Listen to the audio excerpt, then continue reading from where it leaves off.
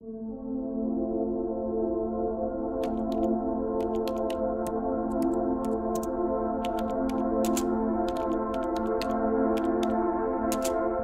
back in 2010, you'd be hard pressed to find any UFC fights online outside of illegal websites to stream them, or just hitting up MMA Core like a true fan. But one thing we did have was the golden age of YouTube highlight reels, and if you were just getting into the sport like me, guys like Bas Rutten and Mirko Cro Cop were absolutely mesmerizing to watch.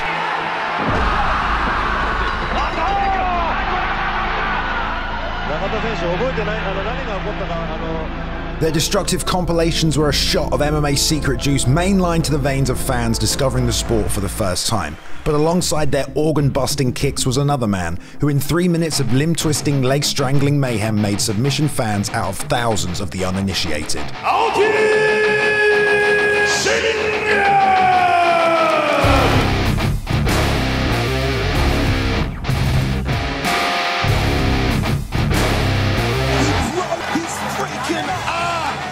His flat out aggressive pursuit of the submission took him to the heights of the pound for pound list, and while the final war of Japanese vs US MMA raged, he emerged as another bad boy alongside the likes of the Diaz brothers, a skinny looking guy whose cocky attitude polarized the MMA world with equal talent for masterful submissions and the Stockton salute. At a time when the guard game was considered dead in MMA, Aoki emerged as the most dangerous man off his back. This is a story of white hot feuds, rivalry six years in the making, an unremorseful limb snapping grappling machine, and a cross promotion championship event that had never been seen before in MMA history.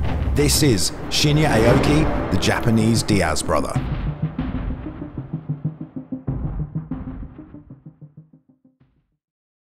Chapter 1 Traditional Beginnings our story starts in 1992 in the sprawling metropolitan streets of Shizuoka City, nestled neatly on the southern coast of Japan. Its name means calm hills, but would produce one of the most violent grapplers to ever walk inside a ring. A nine year old Shinya Aoki is glued to the television screen, watching the Barcelona Olympic Games, where two men, Hidehiko Yoshida and Toshihiko Koga, battle through their brackets and make history as they win two gold medals in judo for Japan.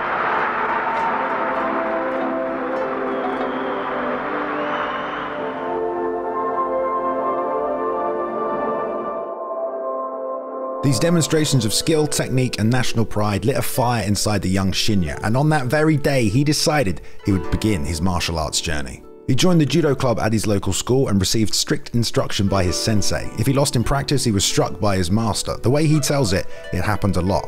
The serious nature of this training installed this kill or be killed attitude in Aoki, and he discovered his love for one on one competition, which would fuel a lifelong career of martial arts. His school taught a Kosen style of judo, which is one much more focused on submissions and groundwork, and after winning both national and international titles at a young age, he was ranked as high as number 5 in the sport, while still at high school. By university, he was ranked number 2 in Japan, and he joined the junior national team. But his love of the submission eventually led him to want to focus on a different kind of competition.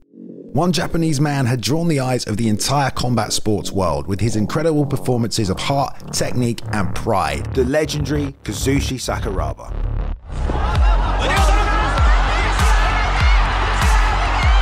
Shoots a single leg, gets the takedown. He's gonna go for a knee bar now. Oh my God!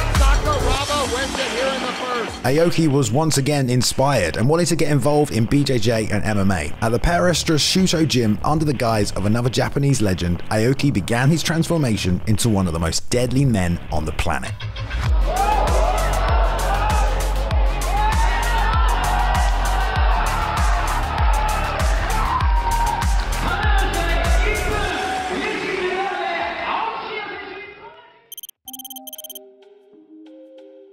Stand by for more Japan Open exhibition fights.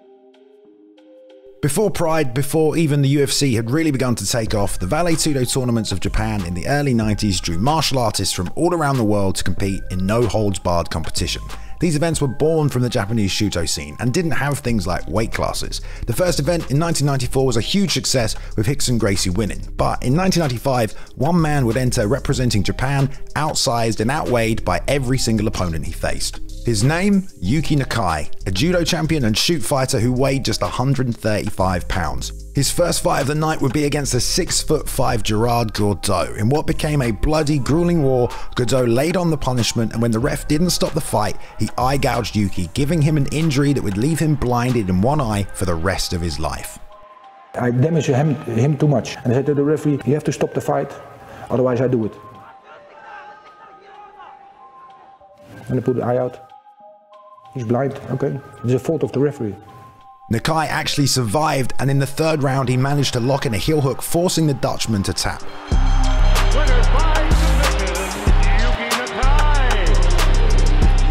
Despite being basically blind in his right eye, he refused to quit and kept fighting.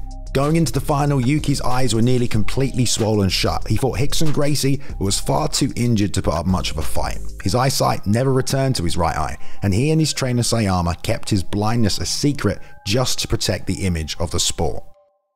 He retired from MMA and eventually became the first Japanese man to receive a black belt in Brazilian Jiu Jitsu.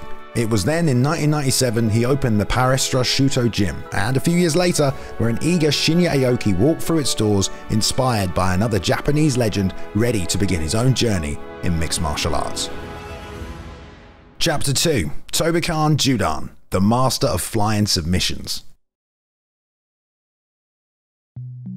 With his judo black belt already wrapped around his waist, he began studying BJJ and Shooto with Nakai, quickly advancing to the rank of A-class Shooto expert and eventually being awarded his black belt and a position teaching at the school.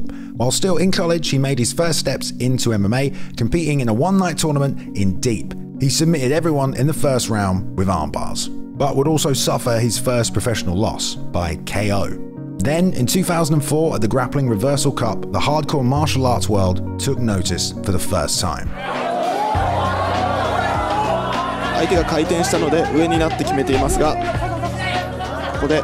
Kuniyoshi Hiranaka's arm was broken, and the master of flying submissions, the Tobikan Judan, had been born. He would then follow this performance up a few months later, making his first appearance in Shooto.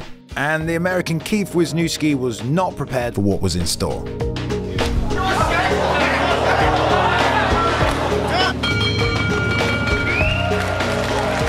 Aoki was collecting arms left and right. However, in August, Shinya would face his first major setback, and in one night at Shooto Alive Road, two historic rivalries would begin.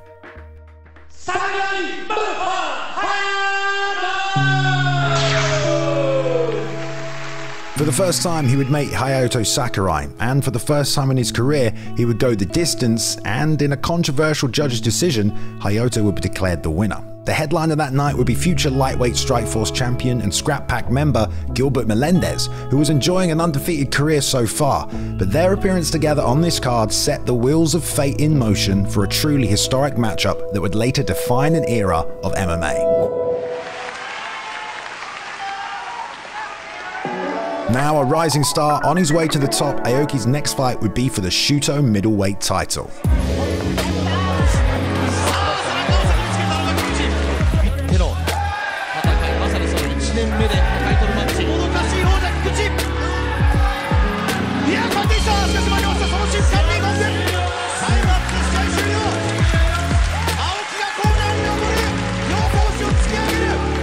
After a long battle with Akira Kikuchi, Shinya won his first fight by decision and the championship belt. But at just 23 years old and still in university, his future in the sport was unclear.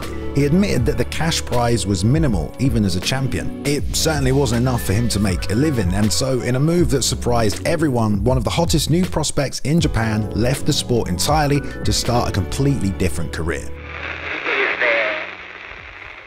A month after winning the title, Aoki graduated from university and his next choice was to go into the police force in his home city telling media outlets he wanted to defend Japan. This would require six months of training, and as an officer of the law, he would not be able to compete in the sport.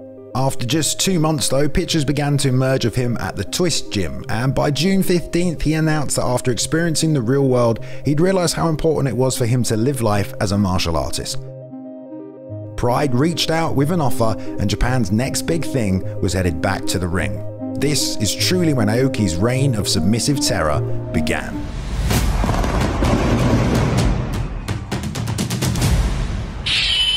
Chapter 3 Pride Fighting Championships In August 2006, he made his first appearance at Bushido 12, squaring off against the cult icon Jason Black, who'd been on one of the greatest win streaks in MMA history. Shinya wasted no time, pulling guard and slapping on a deadly triangle, forcing Black to tap in just under two minutes. It was a hell of a way to make a return to the sport. Uh, Aoki wins his debut in very impressive fashion Earlier that night, though, on the other side of the world, coincidentally, Nick Diaz also picked up a submission of the night, tapping Josh Neer in the UFC. Nick Diaz! But it was his teammate Gilbert Melendez who also fought at Pride Bushido 12. Two months earlier, he'd beaten Clay Guida and claimed the Strikeforce lightweight title. The night of Bushido 12, he won a unanimous decision over Nobuhiro Obiya, taking him to 11-0 in his career, and that very same night, for the first time, El Nino and the Tobikan Judan were matched to fight. But sadly, it would never happen. At least, not yet. Gilbert received a burst bursa sack in his elbow while training and had to pull out. This USA Japan showdown would have to wait. Meanwhile, Shinya fought Clay French and reminded everyone why they call him the Tobikan Judan. He nailed him with a flying triangle in just four minutes.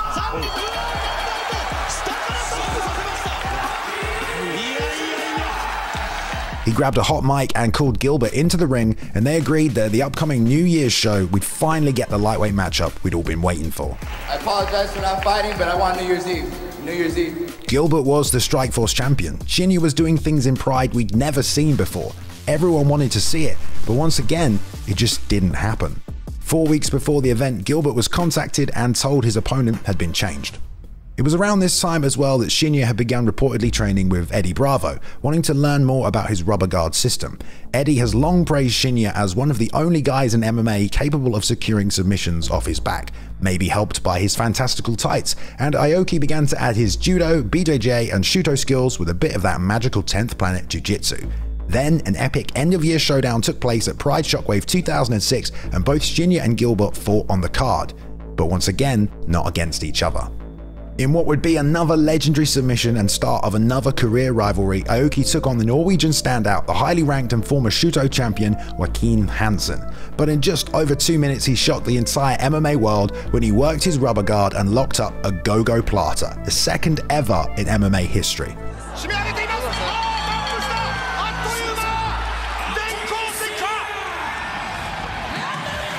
That shit hit the MMA forums like a Joe Rogan Photoshop contest, and he pulled it off just two months before Nick would hit his own go-go against Gomi later at Pride 33. Nick would actually go on to talk about Shinya. That's why I was, you know, I always wanted to fight uh, Shinya He was, uh, I don't want to say I was a Shinya fan. It's just that I felt like he got out and was able to do a lot of a lot of the tricks that I like to do before I was able to do them, and I was, uh, I guess you could say, uh, a little bit jealous in a way. And you know what? There's many more similarities between these two guys. Not only were they both finishing opponents with displays of complete mastery of their skill sets, but both had the same attitude to the sport. We know the Diaz brothers only count submissions and KOs as wins. Shinya has also said the same. When talking about BJ losing his title to Frankie Edgar, he'd say, 本当の意味での KO するとか一本取るっていう格闘技としてもあれだとは思ってないので。And the Diaz attitude of kill or be killed? Yeah, Aoki had that in spades, telling media at points, I can risk my life if needs be. Fighting isn't about technique, but about instinct and heart. One tough guy will stand, another tough guy will fall. On the same night Shinya pulled off the Gogo Plata, Gilbert managed to pull off a unanimous decision over Kawajiri. And despite even the commentators talking about it after his hand was raised, Shinya and Gilbert would not be matched up. In fact, Gilbert would never compete in Pride again. In the wake of the Zuffa purchase, Pride faded into memory and Shinya was set on a new path to glory. Chapter 4 Living the Dream much of the MMA world mourned Pride's passing, and let's face it, they still do. But some of the company's executives, in association with FEG, the fighting and entertainment group, and M1 Global, the Russian promotion, decided they should put on one final massive event to say farewell to Pride. They named it Yarennoka. I know most of you know the big Pride stars, Cro Cop, Vanderlei, of course Fedor, but you know who headlined the farewell show? Yeah, they picked Shinya Aoki. And if you didn't know how big a star he was, well, now you know. Fedor fought Hongman Choi. Once again, Gill came back on the same card as Aoki, but not against him, and would be handed his first ever loss at the hands of the judges. Shinya then headlined the event against a judo silver medalist who stepped in after the K1 Heroes champion pulled out, and all the fighters gathered in the ring after the countdown of the new year to say a final goodbye to Pride.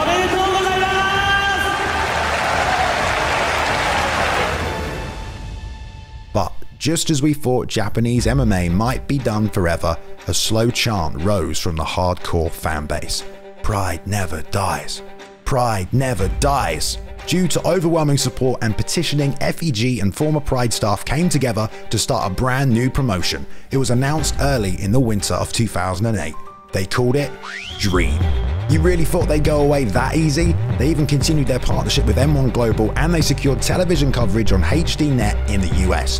Dream 1 was their inaugural show and they kicked off a lightweight Grand Prix and guess who headlined it? Of course, the Tobikan Judan, rebooked against the K1 Heroes champion, but it wasn't the showcase Shinya was hoping for as he was stopped with illegal elbows in the first round. Down the back of his head, which is illegal. You can't elbow the can't elbow the head, but Not exactly a breakout performance. They rematched just one month later, however, and this time Aoki took a unanimous decision. Then in his next bout, he'd pull off something truly spectacular. And that's it. An omoplata from the top. How about that? That's the first time I see that. Just when the MMA world thought they'd seen it all, Aoki hit a mounted go-go Plata, the first of its kind in any major promotion. That set him up for the final showdown of the lightweight Grand Prix, the semis and the finals being decided in a one night tournament on July 21st, 2008. And at this point, Aoki was ranked the number 3 lightweight on the planet. It would be Aoki's fourth and fifth fight in just four months, and the paths of Nick Diaz and Aoki almost looked to cross and compete on the same event, as Nick was supposed to fight for the inaugural title, but the Stockton man pulled out due to contract obligations with Elite XC.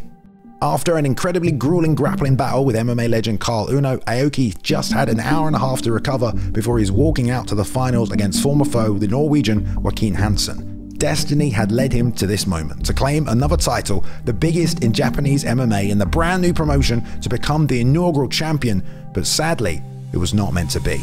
And we shall see. The championship is on. The dream is about to become real for either Aoki or Hansen. Hansen swings and misses, and Aoki grabs him and wants to get it to the ground naturally, and he does. This is what Aoki wants. This is exactly the game plan that Aoki has followed There to we go. perfection. Hansen now able to get free. Uh, he knew that it was going to come, and he maneuvers real easy out. Hansen tries to come in with the Superman, and he delivers a good punch. He has Load Aoki up. in trouble. Hansen, he's got him! He's I done it. told He's you! done it. Joachim Hansen knocks out Aoki. Aoki was undoubtedly devastated. Losing is hard enough, but this felt like a title he was just meant to win. But just four months later, he was already back in the ring, looking better than ever. Aoki wanting to get it to the ground. Has the back.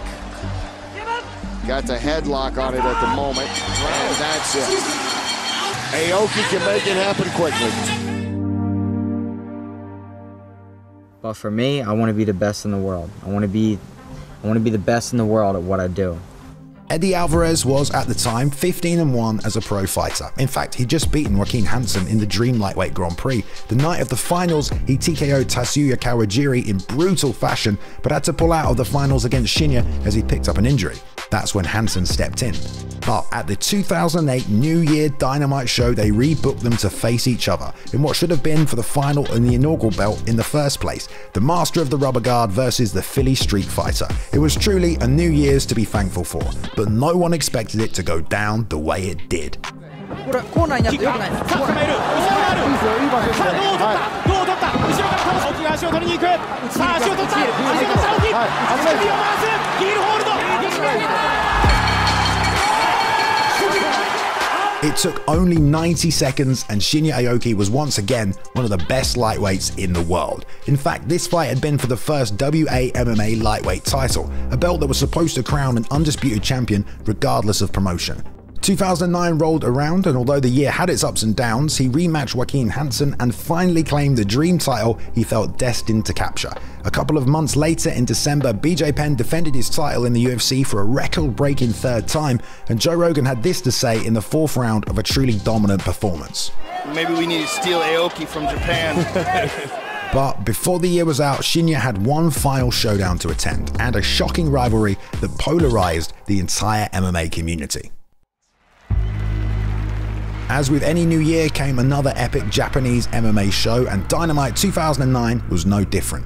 When the press conference rolled around, however, it was clear the animosity between Shinya Aoki and Mizuto Hirota was far greater than expected. He even told him to shut up and to stop talking at the press conference, feeling disrespected by the short notice opponent change. Hirota was being pretty disrespectful with his own words, and he just spectacularly dispatched Aoki's teammate. He promised the Dream President that he would take him out, and he was supposed to have been fighting fellow Dream fighter Tatsuya Kawajiri, but now he's up against the Sengoku lightweight champion. To further add to the intensity of this fight, the card itself had been an all Dream versus Sengoku showdown, and since Alistair Overeem had just crossed through Jida in over a minute, that meant it was four wins apiece, and it all came down to Aoki versus Hirota. And in a move that shocked the MMA world, he took absolutely no mercy. Oh, that's gonna be painful! That's gonna be sore! That is a bully beatdown. Hirota in trouble! Aoki applying the... He broke the arm. Oh, he broke the arm! Oh, that's disgusting! That is disgusting! He broke his freaking arm! Hirota refused to tap, and Shinya spared nothing in his celebration. His performance dominated the headlines of MMA media the following week. Some called for disciplinary action from the promotion, others saying simply it was one of the dirtiest things in MMA history. But Aoki regretted absolutely nothing, simply stating, It was very disrespectful to me before the fight, he had a chance to tap and he chose not to. I'm not going to give up the submission because my opponent is too arrogant, so I broke his arm. I think it was more the Stockton salute that most people had a problem with. He did eventually apologize, but as a result, Nakai dismissed him as a trainer from his gym.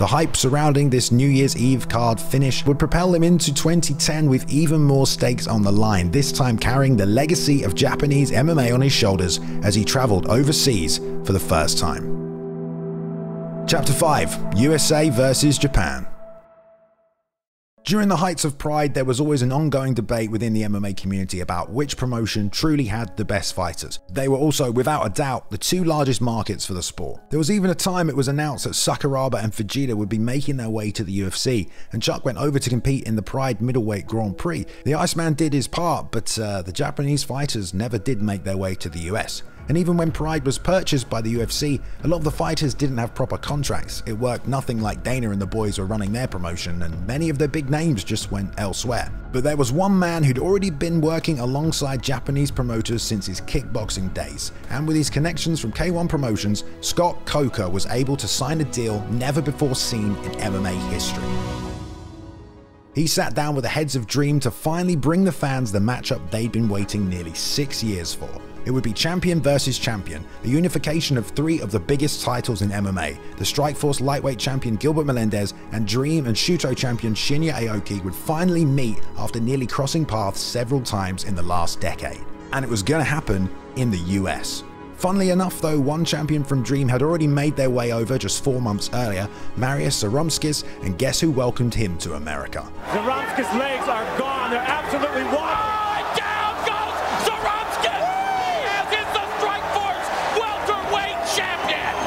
And now it was his teammate's turn, Gil Melendez, to defend Strikeforce's honor. But unlike Marius, Aoki was a Japanese fighter, born and bred, had held pretty much every major title possible in Japan, and was also the highest ranked pound for pound fighter from Japan at the time. He was number 2 in the lightweight rankings behind only BJ Penn, and he had a win over the current Bellator champion Eddie Alvarez. It made for an international matchup, the likes of which we'd never seen before. Ariel Helwani at Strikeforce Nashville with the Dream lightweight champion Shinya Aoki. It's unbelievable. You know, he's coming to the U.S. to fight me. I mean, it says something about him. He's, a, he's like the biggest star in Japan coming here to fight me. I mean, that's, that shows some confidence. Is it safe to assume that the winner of this fight could be considered the top lightweight in the world. Uh, Shinya Aoki, who's a, you know, a killer, the dream champion, of him, because they know him. He's a hardcore fighter.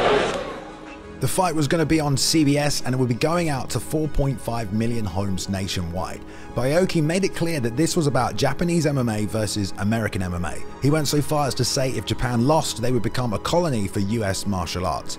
Gil had been training hard with Nick, who apparently uncharacteristically had been on time to every training session, and would himself be going to Japan to fight Sakurai the following month. So, with the hype across the MMA community reaching a fever pitch, it all went down at the Strikeforce Nashville card.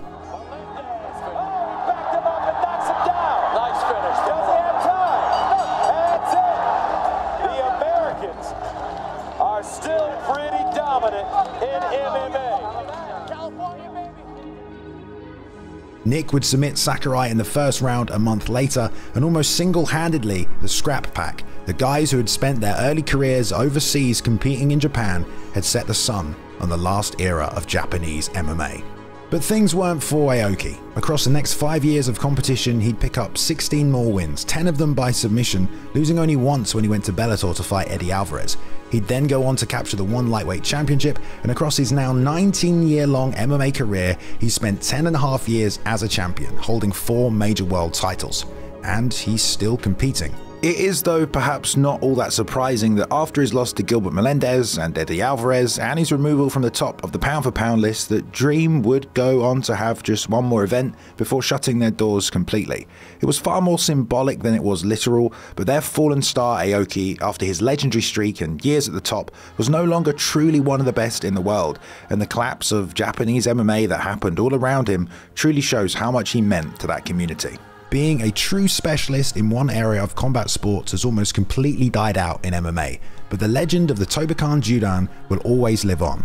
A man with a killer submission instinct since his early days as a young judoka, and a highlight reel that continues to make people who have only ever enjoyed knockouts fans of the art of submission.